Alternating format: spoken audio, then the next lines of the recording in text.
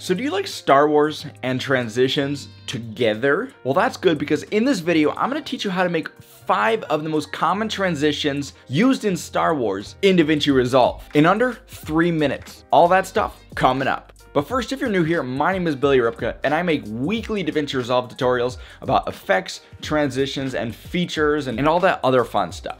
So hit the subscribe button and the bell notification to be up to date on the newest videos put out. But let's get into it.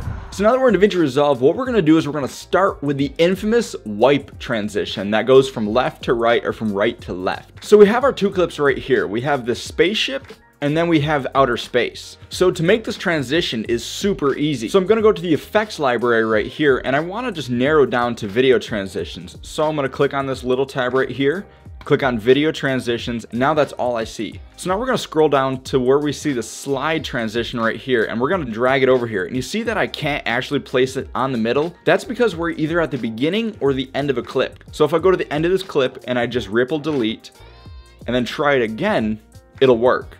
So now we want to grab these parts on the end and extend it to about 10 frames. So now put your playhead in the middle of the transition and in the inspector tab, go to border and bring it up like this. Then click feather. So now we have this feathered wipe transition. You can also reverse this by going to the preset and go from slide right to left and it'll just slide that way. So moving on to the second one, we have the barn door transition. So once again in the video transition tab, we're gonna go down to shapes and then you see barn door and we're gonna do the exact same thing.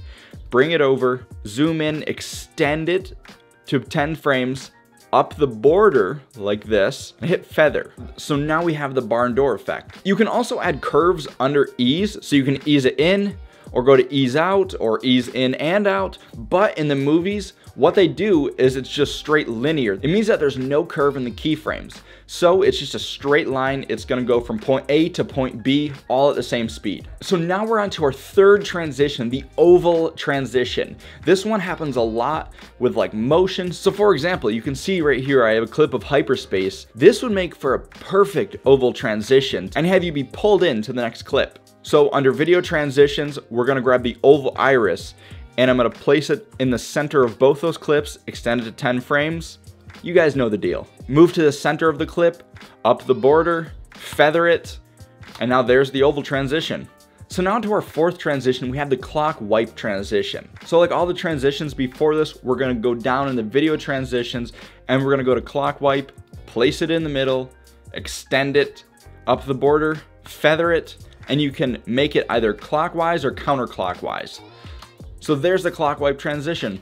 Guys, these things are like super easy. And the fifth and final transition I'm gonna show you is the edge wipe. This is the transition that goes from bottom to top or top to bottom. And of course, this is one of the most common transitions that happens in Star Wars. So under video transitions, grab the edge wipe under wipes, drag it in the middle, extend it to 10 frames, Put your playhead in the center, up the border, and then feather it. So now this one goes from bottom to top. And the cool thing right here is if we go over to the angle, we can actually make it come from any other way. So you can move the angle to 30 degrees and have it transition from the side. And then also 180 degrees will make it transition from top to bottom like this. So there you have it, five simple Star Wars transitions in DaVinci Resolve. So if you thought this video was helpful, hit the like button. If you like me, hit the subscribe button. And if you really like me, hit that bell notification. It helps out so much, you have no idea. What other types of transitions or effects do you want to see me make in DaVinci Resolve? It could be from movies, TV shows, or just things that you saw online. Let me know in the comments below, and if a certain comment that has an effect in it gets a ton of upvotes, I'm totally gonna make that and feature that comment. Also, Happy New Year. 2020 is gonna be legit. It's gonna be great. We're gonna do big things on this channel, so stay tuned for that. Anyway, the video on the top is a video all about the eye zoom transition in DaVinci Resolve. It's really sick. It takes a person's eye and just zooms right into another clip. It's awesome. And the video on the bottom is a video that YouTube thinks that you would like. But until the next one, peace.